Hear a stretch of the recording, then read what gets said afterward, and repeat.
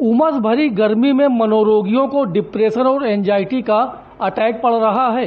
रोगियों को नींद नहीं आ रही, जिसकी वजह से कुछ रोगी एकदम से उग्र हो रहे और घर वालों से बात बात पर झगड़ रहे हैं।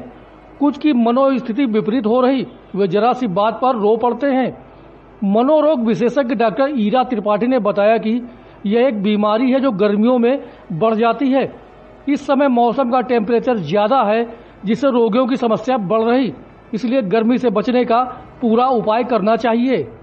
उन्होंने बताया कि मानसिक रोग इरिटेशन अंदर से और बढ़ने लगता है। इसलिए घूमने फिरने जाना चाहिए, लोगों से बात करते रहें और परिवार के साथ ज़्यादा से ज़्यादा समय बिताना चाहिए। ये बीमारी एक ऐसी बीमारी होती है जो सीज़न में पर्सन को होती है। हर पर्सन के लिए सीज़न अलग अलग होता है।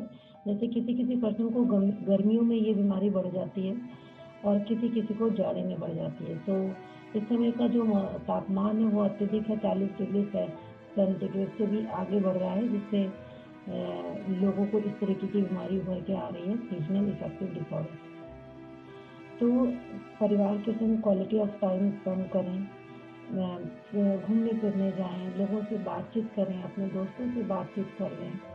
घर में समय बिताएँ, कूलर के पास रहें, जो भी आपके पास फैसिलिटीज़ है, उसके साथ रहें।